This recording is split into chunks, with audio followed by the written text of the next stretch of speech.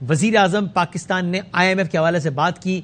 IMF का ही जो हमें आखिरी जो किस्त मिली, वो मफ्ता इसमाइल साहब के दौर में मिली। मिफ्ता इसमाइल साहब ने ज़ाहिर डायरेक्टली नेगोशिएट डील किया आई एम एफ़ के साथ बहुत ज़्यादा।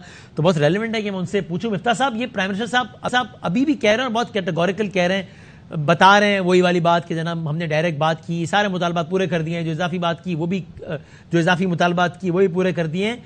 जब वो ये कहते हैं अभी भी, यानी कि आज हम कहा नौ जून पे खड़े हैं और अभी बजट आ रहा है और जून का महीना खत्म हो रहा है बीस बाईस दिन में, जब वो अभी भी एक प्लेटफॉर्म पर ये कहते हैं पब्लिकली कि मुझे पूरी उम्मीद है कि इसी महीने हमें वो आईएमएफ के पैसे मिल जाएँगे। तो इसका मतलब रियासत पाकिस्तान, हुकूमत पाकिस्तान अभी भी इस पर तकिया किए हुए है और इस बात के इम्कान को रोशन समझती है, इस पर इसार किए हुए है। ऐसा कतई नहीं है कि उन्होंने सोच लिया कि अब ये वाला प्रोग्राम तो खत्म, अब अगला अगले माली साल में नया प्रोग्राम निगोशिएट होगा। ये इस वाले पे बहुत ज़्यादा तकिया किए हुए है अभी भी हुकूमत। जी मेरा नहीं ख्याल है कि बहुत ज़्यादा तकिया किए हुए हैं अच्छा। लेकिन मैं समझता हूँ कि कोशिश पूरी जारी है और हुकूमत ने जो जो वज़ीर साहब कहते हैं ये बात सही है कि जो हुकूमत कर सकती थी वो कर लिया है हर चीज़ तो इनकी मान ली है। आ, लेकिन जो जो बाहर से जो पैसे आने थे उन्होंने आईएमएफ का मुतालबा था कि आप हमारे अलावा छः बिलियन डॉलर अपने दोस्त ममालिक से लेकर आए। सही है। जिसमें से तीन बिलियन तो हमको मिल गए अरब ममालिक से। एक बिलियन हमने कहा कि हम वर्ल्ड बैंक और एशियन इंफ्रास्ट्रक्चर इन्वेस्टमेंट बैंक से ले आएँगे। तो ये आ गए आपके चार बिलियन अब रह गए दो।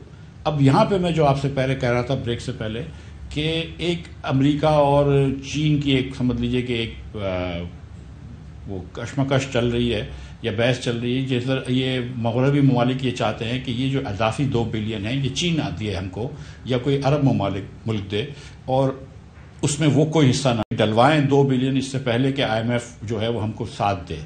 तो और चीन ये सोच रही है कि यार हमने तो सारे पैसे जो पाकिस्तान के थे, कुछ भी नहीं लिया, हमने तो हर पैसा जो है वो री रोल कर दिया। तो हम क्या करें? मिडल बैंकों ने अपने पैसे वापस ले लिए। मगरबी ममालिक ने कोई मदद नहीं करी। तो ये एक कश्मकश चल रही है जिसके दरमियान पाकिस्तान फंसा हुआ है। सो so, आपके भी ख्याल में अगर अभी तक आईएमएफ का सब कुछ पूरा कर देने के बावजूद आईएमएफ पैसे नहीं दे रहा तो इसकी एक बड़ी वजह यही है छह बिलियन डॉलर वाला मुतालबा जो आपने बताया और जो हम पूरा नहीं कर पाए वो चूँकि एक वज़ीर साहब ने कहा हमारे ही प्रोग्राम में एहसन इकबाल साहब बोले कि साहब हमने सब कर दिया है। अब भी अगर आईएमएफ ने पैसे नहीं दिए तो फिर ये सोचना ठीक होगा, फिर ये सोच हक बजाने होगी कि आईएमएफ ने ऐसा पॉलिटिकल कंसिडरेशंस की वजह से नहीं किया। And I hate to say this he says and I quote कि I hate to say this कि इस मामले में पॉलिटिक्स नहीं होने चाहिए। यू एग्री विथ हिम या आपके ख्याल में नहीं इसकी रीजन इकोनॉमिक इकोनॉमिक रीजन ही अगर आईएमएफ पैसे नहीं देता तो? देखिए आईएमएफ ने आपसे शर्त रखी थी कि एक आप फॉरेन एक्सचेंज मार्केट को ठीक कर दें। दूसरा आप बजट दिखा दें वो भी दिखा दिया। मेरे ख्याल से बजट टाइट ही होगा। और तीसरी चीज़ आईएमएफ ने यह शर्त रखी थी कि आप छः बिलियन जमा करें। जी। आ, ये मार्च अप्रैल की बात है जब इन्होंने कहा कि छः बिलियन दिखा दें। छः में से हमने तीन बिलियन तो दिखा दिए हैं। अगले तीन बिलियन के अंदर वो दो बिलियन जो है वो कम आ रहे हैं जो कि आईएमएफ इंसिस्ट कर रहा है कि आप लेकर आएँ। और मगरबी ममालिक जो अमूमन थोड़ी सी मदद कर देते हैं पाकिस्तान की यहाँ पे वो भी नहीं कर रहे और चीन भी नए पैसे नहीं दे रहा। तो जो मैंने आपसे गुजारिश की so, आपका नहीं ख्याल कि अगर पैसे नहीं भी देते तो इसकी कोई political reason you don't think so नहीं मतलब मैं आपसे गुजारिश कर रहा हूँ ना कि अमेरिका और चाइना की जो आपस की जो नहीं वाली सियासत नहीं उनके बयान से जो तासुर लिया गया वो ये कि वो इंटरनेशनल पॉलिटिक्स वाली नहीं वो एक बल्कि एक लोकल पॉलिटिक्स के उस के लेंस से उस, उस, उस एंगल से कुछ कह रहे हैं। नहीं मैं मैं इसको सच्ची बात है कि ये एक माँ सिवाय के वो एक आईएमएफ का बयान आया था जो पाकिस्तानी अंदरूनी सियासत की बात कर रहे थे वो। उसके अलावा मैंने कभी जितने अरसे तक मैंने बात करी है उन्होंने कभी अंदरूनी सियासत पे इतनी बात नहीं करी है। आ, लेकिन इंटरनेशनल पॉलिटिक्स बिल्कुल इसमें इन्वॉल्व हाँ, तो होती है। और अमेरिका का पाकिस्तान के ऊपर कैसा रुझान है चीन का पाकिस्तान के ऊपर कैसा रुझान है मिडल ईस्टर्न कंट्रीज़ का कैसा रुझान है इसका बहुत फ़र्क पड़ता है। और अगर अमेरिका इस वक्त मिसाल के तौर पर चाहे तो वो शायद थोड़ा सा आईएमएफ को नच कर सकता होगा कि यार चार बिलियन अभी इनको आ गए तो इस पर शुरू कर दो काम। आ, लेकिन वो नहीं हो रहा है। या अगर हालाँकि साइड है भी इम्पोर्टेड हुकूमत है कोड एंड तो हालाँकि अमेरिका से आई हुई हुकूमत है फिर भी वो नहीं अमेरिका कुछ मेहरबानी कर रहा है क्या? शहबाज शरीफ पाकिस्तान में पैदा हुआ है पाकिस्तान में बड़ा हुआ है वो कौन सा इम्पोर्टेड हुकूमत है?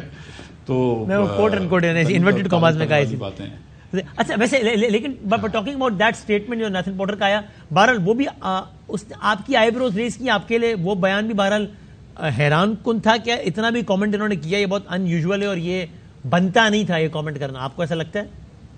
अगर आप वज़ीर खजाना होते आपने माइंड किया होता है स्टेटमेंट को यार इस स्टेटमेंट की क्या ज़रूरत थी? मैं, मैं मैं समझता हूँ कि इसके स्टेटमेंट की ज़रूरत नहीं थी ख़ास तौर पर अगर आप पूरा कॉन्टेक्स्ट देखते कि ये जो कुछ हुआ है ये क्यों हुआ है। अमेरिका के अंदर मिसाल के तौर पर जब 6 जनवरी को वो कैपिटल के ऊपर ट्रंप के साथियों ने कब्जा किया था जी कैपिटल के ऊपर तो उस पर अभी 18 18 साल की सज़ाएँ हुई हैं लोगों को और कई लोगों को सज़ाएँ हुई हैं। तो अगर खान साहब ने एक सवाल पूछा था कि, और वो ये टेस्ट कर रहे थे कि कितना मैं पुश कर सकता हूँ। आपने बोतलों से पेट्रोल बम मारे पुलिस के ऊपर जब अरेस्ट करने गए। और उसी बात पे अरेस्ट हुए थे ना खान साहब, जिस पे अरेस्ट उन्होंने मुझको किया, उस पर शाहिद अब्बासी को किया, एहसन इकबाल को किया, ख्वाजा आसिफ को किया, शाहिद शाहिद शहबाज शरीफ को किया।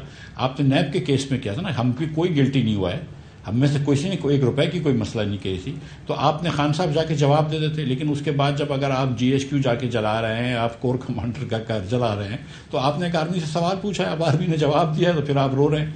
लेकिन आप साथ साथ जब इम्पोर्टेड हुकूमत की आपने बात की है तो इम्पोर्टेड हुकूमत आप एक तरफ़ कह रहे हैं और दूसरी तरफ़ आप पचास हज़ार डॉलर महीने के दे रहे हैं लॉबिस्ट को कि वहाँ पर जाके अमेरिकन जो लेजिस्लेटर्स हैं या जो अफसरान हैं, उनसे आप लॉबी करें। और रोज़ जाके आप मगरबी अखबारों में और मगरबी जरीदों में और मगरबी चैनलों पर इंटरव्यू दे रहे हैं तो वो क्यों दे रहे हैं?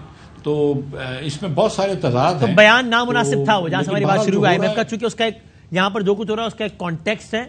और अगर अमेरिका में ऐसी कोई चीज़ भी होती तो कोई और बाहर का मुल्क उनको कहता तो वो कहते भाई हमारा अंदर का मामला बड़ा सेंसिटिव मामला है इंटरफेयर ना कीजिए। तो इस कॉन्टेक्स्ट में आप कह रहे हैं कि बाहर बयान अनप्रेसिडेंटेड भी था और नामुनासिब भी था आपके ख्याल में? जी मैं बिल्कुल समझता हूँ कि आईएमएफ का ये बयान जो था वो लेकिन मुझे उस वक्त ये लग रहा था कि आईएमएफ ये बयान देकर अपनी जान छुड़ा रहा है और वो अब किस्त देने के लिए तैयार हो गया। मुझे ऐसा भी लग रहा था कि अगर वो किस्त फ़ौरन दे देते ना अगले हफ़्ते तो मुझे ऐसा लग रहा था कि शायद वो बयान दे के कि चलो यार मन में बयान भी दे दी आप पैसे तो इनको दो ताकि ये आगे बढ़े। आ, लेकिन ये भी नहीं हुआ। तो अब तो मुझे ये लग रहा है कि इस कॉन्टेक्स्ट में क्या वो आगे भी कोई पेशरफ भी नहीं हो रही और सिर्फ़ अगर आप हमको बयान ही हमारे खिलाफ दे रहे हैं तो वो क्या बात है? यहाँ कह रहे बयान के बाद चलो या तो दो पैसे दिए होते तो शायद आपको लगता है कि, ठीक है, पैसे देने इसलिए एक बयान दे दिया, बयान भी दिया और पैसे भी नहीं दिया।